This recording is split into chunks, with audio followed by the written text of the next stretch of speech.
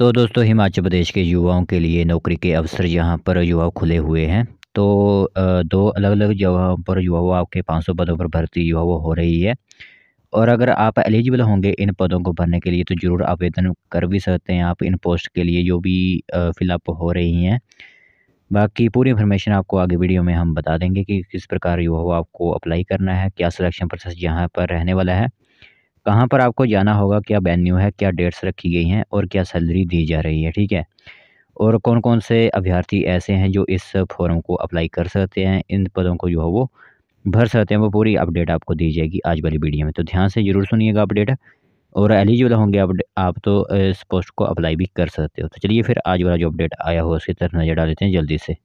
तो दोस्तों ध्यान से सुनना अपडेट। क्या पता आपकी जगह जहाँ आप रहते हो वहाँ पर ही नौ, नौकरी की हो इन्फॉर्मेशन आई हुई है। तो सबसे पहले आप सभी को बता दें तो दो जगह अलग अलग जगह पर आपको वैकेंसीज देखने को मिलेंगी। प्राइवेट ही नौकरी रहेगी कोई सरकारी नौकरी की इन्फॉर्मेशन नहीं देने वाले हैं आज आज की वीडियो में हम। तो प्रांजलि आईटीआई में पाँच सौ पदों पर युवा साक्षात्कार दस को लिए जाएँगे दस और ग्यारह तारीख को लिए जाएँगे। मैं बताता हूँ आपको पूरी इन्फॉर्मेशन इसी के साथ माँ ज्वाला आई जिलाड़ी में भी आपकी एक कंपनी आ रही है। वहाँ पर भी आपकी युवा वो साक्षात्कार लिए जाएँगे तो दोनों की इन्फॉर्मेशन एक साथ दूँगा मैं एक एक करके, ठीक है?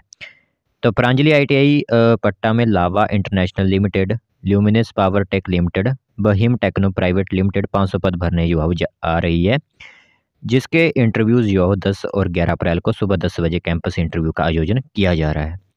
तो लावा इंटरनेशनल लिमिटेड तीन सौ पद भरने के लिए दस और ल्यूमिनस पावर लिमिटेड व हिम टेक्नो प्राइवेट लिमिटेड जो है, दो सौ पद भरने जो है जा रही है। इसी के साथ इन सभी के जो वो ग्यारह अप्रैल को साक्षात्कार लिए जाएँगे। तो संस्थान के चेयरमैन हरीश कुमार उपल ने बताया कि अभ्यर्थियों ने इलेक्ट्रीशियन अब मैं ट्रेड बताता हूँ कि कौन से ट्रेड वाले जो है इंटरव्यूज़ के लिए जा सकते हैं।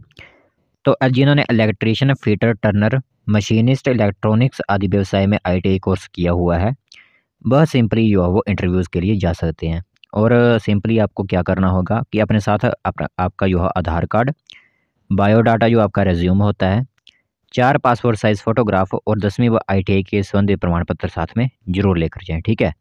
तो ज़रूर लेकर जाएँ, ग्यारह तारीख को जो है वो आपके साक्षात्कार हो रहे हैं।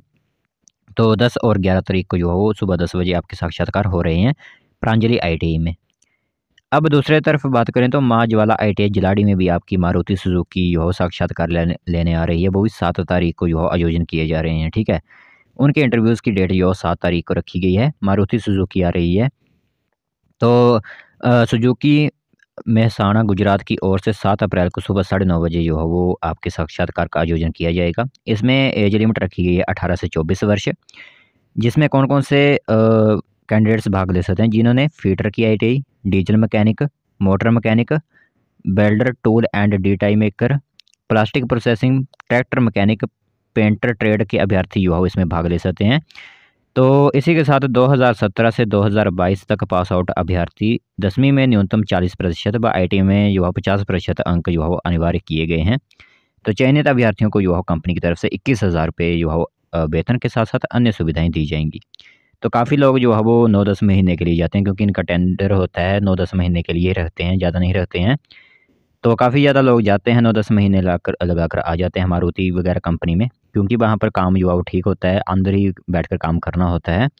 तो जो भी इंटरेस्टेड कैंडिडेट्स हैं, इन जगहों से बिलोंग करते हैं, जहाँ से जहाँ पर अगर अपने एम्प्लॉयमेंट एक्सचेंज में अपना नाम लिखा हुआ है तो यहाँ सिंपली आप जो है वो अपने इंटरव्यूज़ के लिए जा सकते हो।